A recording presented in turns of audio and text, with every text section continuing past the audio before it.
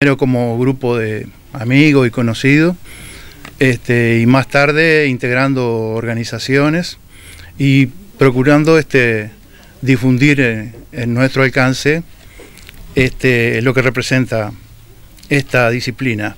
Este, como decía Victoria, al final del desarrollo de este proyecto, este, el fin de eso es que haya más productores, más agricultores, más volumen de, producción agroecológica, más gente organizada, porque la agroecología este, no es un, gremio este, productivo como tenemos otros en el país, sino que es una asociación donde queremos que los consumidores, las personas destinatarias, participen también y sean este, parte para que haya un, nuevo vínculo que no sea solo el, tradicionalmente comercial entre los productores y los consumidores, ¿verdad?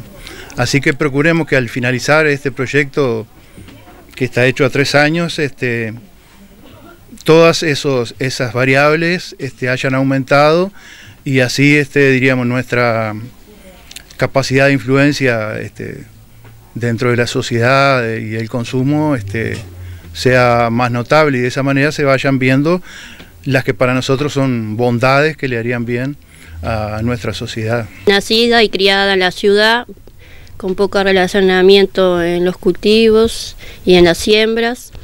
Em, conocí a mi compañero y nos fuimos a vivir hace 15 años al predio familiar en El Soldado.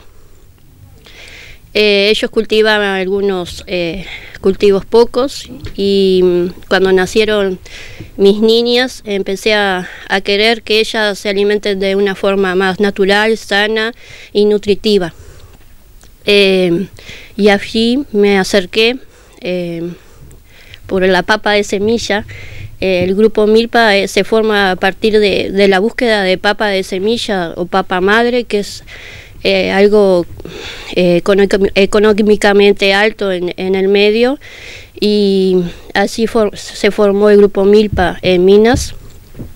Em, y de ahí, em, junto a un técnico, Marcelo Fossati, eh, jornada a jornada fuimos em, aprendiendo a cultivar el ciclo de la semilla y a su vez Hacemos minga, que las mingas es una ayuda mutua en, distintos predios de, cada compañero.